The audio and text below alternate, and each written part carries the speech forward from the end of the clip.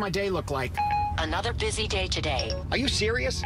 Yes, I'm not allowed to be frivolous. Ah, okay. Move my 4 o'clock today to tomorrow. Change my 11 a.m. to 2. Okay, Marty. I scheduled it for today. Is that Rick? Where's Rick? Here's Rick. Oh, no, it's not Rick. Now, how's the traffic headed downtown? Here's the traffic. Oh, it's terrible. Terrible. Driver. Driver, cut across. Cut across. We'll never make it downtown this way. I like you, Siri. You're going places.